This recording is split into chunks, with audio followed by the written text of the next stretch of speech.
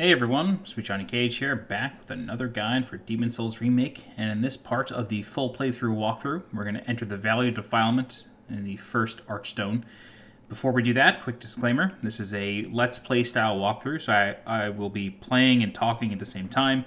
You may hear some background noise, you probably hear my controller vibrate, you may hear a plane going by overhead, hopefully my dog doesn't bark, but just a disclaimer, this is a live sort of playthrough.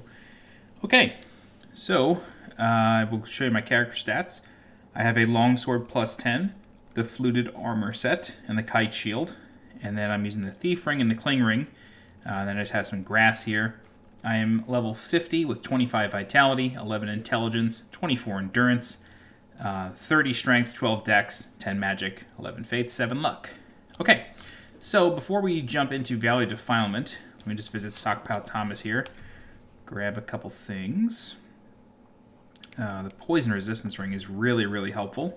Be sure to grab that out of your uh, inventory. Uh, bring some more Noble's Lotus in case that doesn't fill you up. And then some any spice that you need. Uh, you shouldn't need an edge sharpening stone. Uh, what I also recommend bringing is some pine resin or anything that can buff your weapon with fire. most of the enemies in Valley Defilement are weak to fire, but the boss of 5-1, which is Leechmonger, is especially weak to fire. So yeah, that's sort of it. Um, if you want to bring a catalyst, go ahead. Probably probably won't hurt. Okay, so with that, uh, let's just visit Stockpile Thomas, or uh, Blacksmith Ed, sorry, Blacksmith Boldwin really quick. Repair our gear, and then I don't think I need to purchase anything from him at this point. Okay, cool. So, Valley of Defilement, Archstone of the Chieftain, the Depraved Chasm is the first Archstone. So, starting off, Valley of Defilement is. It's just a frustrating area. I can't exaggerate at all. And uh, that's evidenced by the entrance, or the pathway, not being straight ahead of the Archstone. Instead, we gotta go up. And uh, this place is the, the, the precursor to Blighttown, or the predecessor to Blighttown in Dark Souls 1. And what is it? Not Black Gulch, not the Gulch, um, whatever that weird shanty town is in Dark Souls 2. Can't remember that. But anyway, Valley Defilement is what started it all.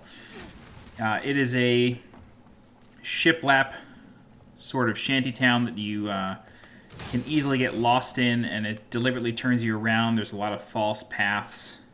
I don't like this enemy's position here, just being honest. Maybe I can get him to walk off. There we go. Um, having an upgraded weapon, I I do not recommend coming in here with anything less than like a plus eight weapon. These uh, depraved ones kind of fall from all locations. One's gonna drop right in front of us actually. There he is. These depraved ones um, can sneak up on you. As you can see, this one here, he's waking up. And your first time through any area in this stage that has depraved ones that will be waking up, um, the first time through they wake up. The second time through, or any subsequent time through, uh, they will not. They will just be active all the time. Okay, so in this first area of Valley of Defilement, there's a few different things that we need to do. So I'm going to jump down and grab this treasure here. Uh, this is... I don't think it's anything too important, actually. yeah, okay, so it's a Morning Star. It's not a bad weapon. Not a bad starting weapon, pretty early game. But you can see that there is some more treasures to get. However, I'm not going to get those just yet. Instead, what I'm going to do is I'm going to basically comb the entire area because this is the only way to get this treasure up here. You want to drop that bridge and then kill that depraved one with the flame poker. There's a Talisman of God and a Widow's Lotus here. And there's some more enemies that are just underneath us. So if you're lucky, you can sort of just bait them off the uh, platform there. Just sort of aggro them, and then sometimes they'll just walk off. The reason I'm taking this so slow is because these guys are quite deadly, and they can easily gang up on you. Yeah, so this this ability right here, that really drains stamina, especially on New Game Plus. Um, the the stamina drain is just insane. They they tink you like six or seven times uh, in that one combo chain. So it's very, very deadly. Okay, so we're going to come over here now. And then now that we've sort of done that loop, I'm going to show you where that lets out. And that is uh, just up this ladder. This is basically exactly where we were before. just before we dropped that uh, shortcut ladder. So this is where we were. We dropped down there, got that treasure. Okay, so with that done, we can just drop down here, and then we're going to uh, follow the rooftops here. So uh, we need to just drop down very carefully. I'm just double checking my pathing here. Yeah, okay, that is where we drop down. Great. So we drop down right here onto this roof. And then we get this treasure, which is a renowned hero soul. And then carefully walk around here, grab this treasure, which is some crescent moon grass, always helpful. And then we're going to drop down through this roof here. Careful of any enemies. I think there is one on this roof. We may have killed him already. He may have come over. Okay, go ahead and grab this treasure, some more crescent moon grass. And then we are coming up to a ring right here. So, as you can see, there's a couple depraved ones down there. Yeah, this move right here, super deadly. Uh, on New Game Plus, it's it's especially rough. It the New Game Plus scaling in Valley Defilement is insane. Anyway, this is the Ring of Magical Dullness, so if you're going for the All Rings trophy, you'll need that. We're going to drop down to this roof as well, and then there's some enemies near this bridge. Let's go ahead and bait this guy out. And then one is going to wake up behind him. However, there's another one back here that I heard, so very careful. Yeah, that move is just the worst. Okay, so uh, what we're going to do is instead of uh, traversing this way, which is the intended path, I'm just going to backtrack a little bit um, just to kind of show you where the other path ends up. There is an enemy right here, though. Yeah, there he is. Okay, so this path here uh, is basically right back here. So this is the little shortcut bridge that we dropped. This is where we baited the enemies off. So that's just sort of this loop here. That's that's this landscape of this first area. We're going to keep moving down. And then... Oh, wow, yeah, this guy wakes up. Uh, he, he's very hidden. He's one of those enemies that just sleeps and then wakes up sometimes. Okay. Alright. So what I recommend doing is we're going to drop down here. However, there will be enemies. Uh, there are a couple depraved ones down there waiting for us. Yeah, you can see him walking toward us now. There's this guy. This guy's going to try to slam us. And then there's two uh, red hot poker or flaming poker guys over there. But you can see this plank. And then you can see a note down there. That's actually my own note. Oh, God. Oh, God. I didn't. I really did not want to do that just there. It, it's okay. it, I, I wanted to show you this in another way, but this is probably... Oh, God. This is probably... Uh, better to do just to show you like what happens in Valley Defilement. I just realized I'm human. I did not mean to be human. Anyway, there's a Stone of Ephemeral Eyes down here. And don't worry, we, we, can make it back up to where we were. And we will, because this is actually a shortcut path, believe it or not, that we just accidentally got knocked down into from that plank. I'm going to kill this Crystal Lizard here, just to secure its treasure. And then this guy's going to hit us a bunch of times. Okay, and then this is a giant tick, this enemy right here. Uh, it clearly has a sort of like pulsating sack on its back. So what I recommend doing is either attacking it from range or attacking it and then just backing up. And you can see a cloud just sort of lets out from the sack, and that will poison you. However, these are the enemies that you want to farm for Marrowstone Shard. Marrowstone Shards. Uh, it's upgraded. Marrowstone Shards upgrade the Fatal Path of weapons. And on this corpse here was a, uh, a Blessed Mace, which is an excellent starting weapon. Um, only requires 11 strength, which basically every starting class has. So it's really, really strong, and you can get to it somewhat easily. Um, you can just sort of drop down here, run past all the enemies, and uh, sort of pray for the best, but it's one way to get the Blessed Mace. Okay, so... Oh, wow, that's nice. Crystal Lizard gave us some Faint Stone chunks. Go ahead and loot loot these corpses here. Oh, another couple of these guys just woke up. That's what I'm talking about. They really sneak up on you. Okay, and then there's a bridge right here. We're going to knock down. Clearly there's a fog wall there. However, um, just past that fog wall is something very, very dangerous. And those, um, it's rats. So um, what I recommend doing is if you have any fire bombs, I'm not sure if I do. Okay, I don't. Um, however, I do have some. I do have soul arrows, so let me take out my silver catalyst here, and then basically the the rats are going to be tucked in the in the corner here. I may actually be aggroing them right now, uh, but they're going to be tucked in this uh, right corner here, and then there's a path to the left that we're going to try to take super fast. All right, so the rats can uh, put plague on you, which obviously we don't want to have happen. So we're going to deal with those later. And right now, I'm going to head back to where we were. I'm going to go back to that original path. So wait for this guy to come out. Obviously, there's a couple giant ticks in here that we don't want to explode incidentally. Oops, didn't want to do that. Okay, yep, just got poisoned by a tick, so just go ahead and blow the other one up. Alright. Oh, Marrowstone Chunk, nice. It's a great drop. Maybe another one? Okay, Marrowstone Shard. Sometimes they don't drop anything. Okay, so if you have any uh, Lotus, go ahead and use that. You want Noble's Lotus for poison, and then Widow's Lotus for plague. Plague is much deadlier than poison, it lasts way longer. Okay, so what we're doing now is we're basically just backtracking. So we're gonna kite this guy out here. Slash him. Slash him again, he's down. Okay, and then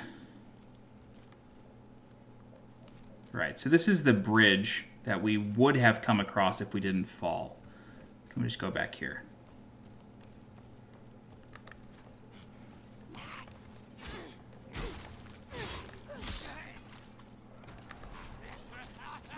okay, yeah, there's a couple of these uh, depraved ones in these little shrubs here that we gotta be careful of.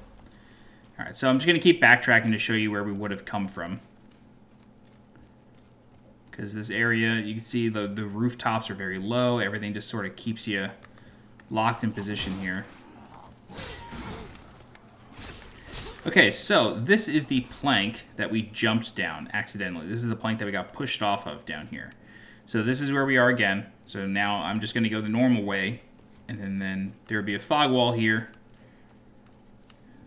Kill those guys. Oh, there's a treasure right there that I just missed. Whoops. Great, some Noble's Lotus for the poison. Just go ahead and heal up.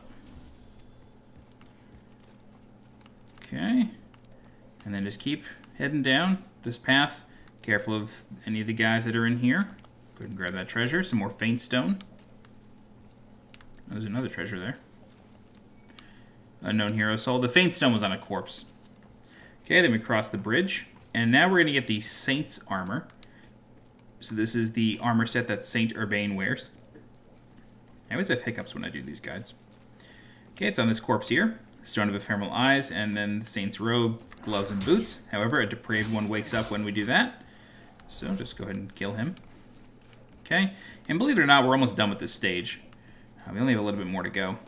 Okay, and then there's a vendor here. This is the Filthy Woman. Uh, she's a con artist of sorts. Uh, she talks about a baby, and she wants you to buy things from her to support her baby, but we don't ever see the baby, so I think she's lying.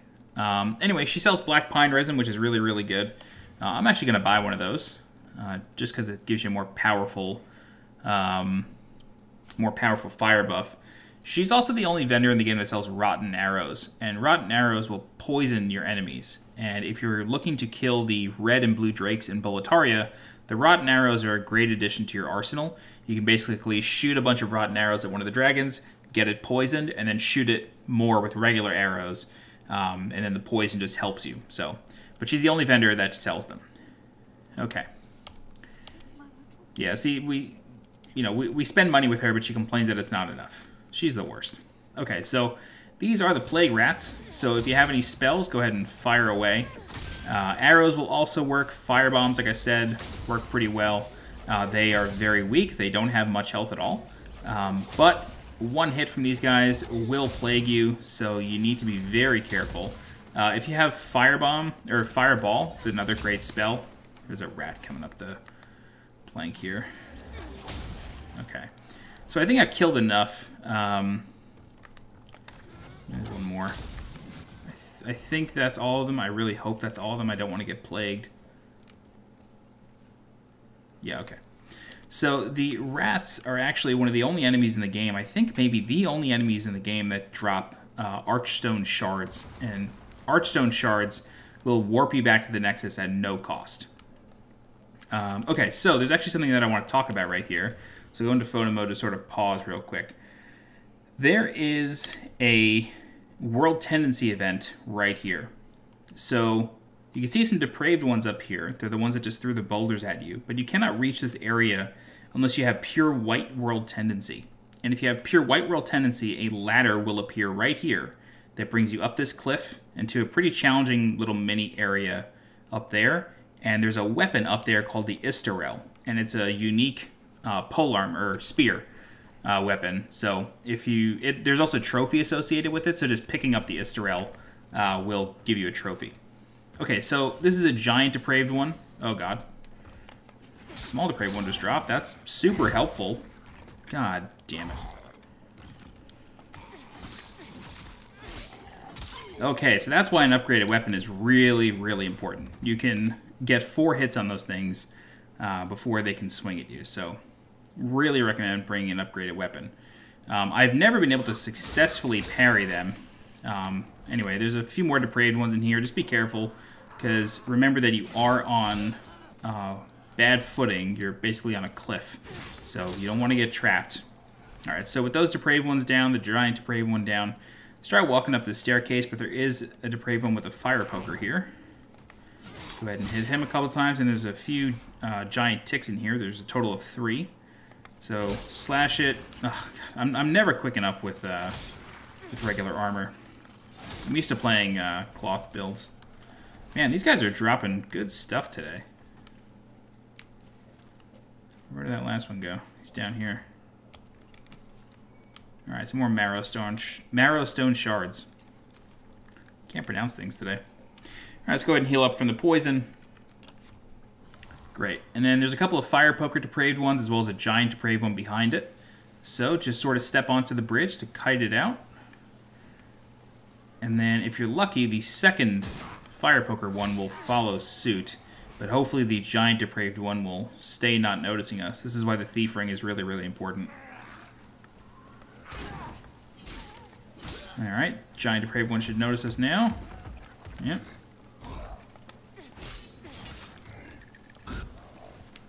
God, bridges are the worst.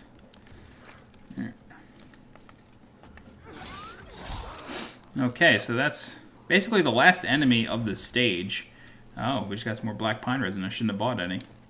Okay, so now that we have basically completed the stage, I mean, this only took us 17 minutes or so to do, um, but this is the end. That is all of the Depraved Chasm.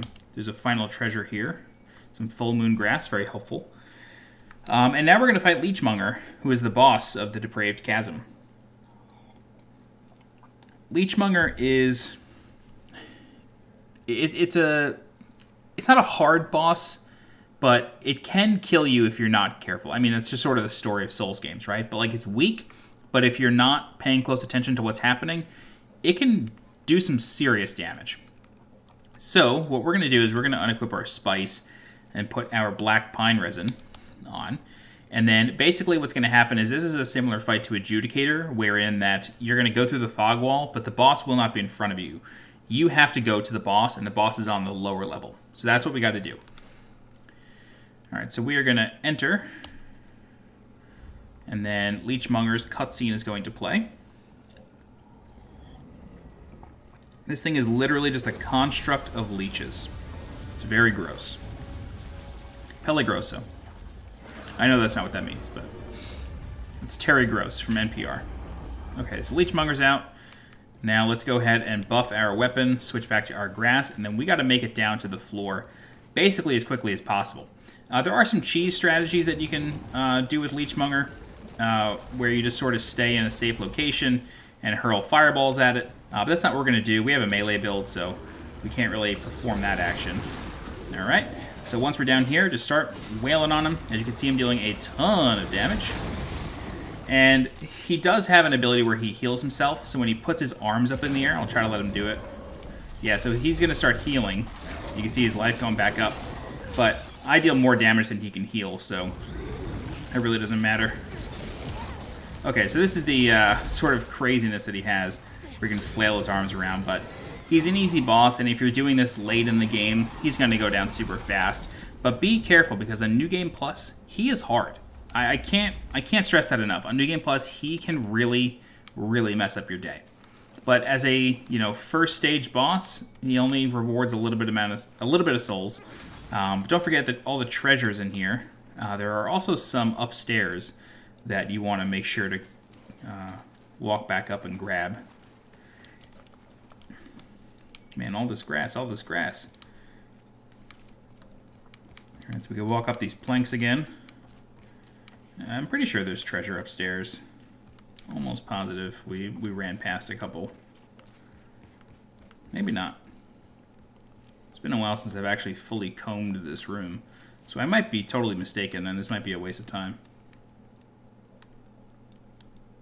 Yeah, okay, I don't think there's anything. Just run back up real quick. Hopefully we don't get invaded in the process here. Okay, yeah, there's nothing. That's okay. Alright, so that is Leechmonger, that is the boss fight, and the Archstone is back here, so go ahead and touch that, this way we don't get invaded. And we get the Writhing Demon Soul, and we're going to warp back to the Nexus. So, it's a pretty quick level. Uh, I recommend doing this stage late in the game. If you're not going to do it late in the game, just get the Blessed Mace and leave and come back later. Like, there's really nothing beneficial aside from the Blessed Mace, and I guess maybe the Saints set um, in this stage. There's, there's the Morning Star, but again, it's just I don't know. It the level isn't that rewarding. You don't get much from it. There's really no upgrade materials to farm outside of the the giant ticks. But if you are, um, I, I don't know, like you really have to go into Valley Defilement early if you have a plan. Like, okay, I want to build a fatal weapon. I need to go into Valley Defilement. But you can't actually build a fatal weapon until you get a base weapon to plus eight anyway. I don't think so. Uh, yeah, I'm almost positive that's how it works, or maybe plus three. One second. I don't want to give you false information here. Demon's Souls upgrade paths. Fatal. Uh, okay, so plus three. You got to get a weapon to plus three, and then you can bring it to fatal. Um, so it's not Valley Defilement is not really going to be a level you do first, unless you're going in there with with a reason. Okay, but that's it. That's the guide. Uh, sorry to droll on so long at the end here. The next guide will be for the second Archstone of Valley Defilement, so be sure to join me for that. Uh, if you have any questions, please feel free to leave a comment. I'll do my best to help you out. If you're looking for more guides for Demon's Souls Remake, please subscribe to the channel so you get alerted when new guides go live. If you're interested in supporting the channel monetarily, please consider becoming a channel member by clicking the blue join button below this video. Additionally, you can donate directly to the channel by clicking the link in the description below. Don't forget to follow me on Twitter and on Twitch, and as always, I'll be Johnny Cage. Thanks so much for watching, and I'll see you next time. Bye bye.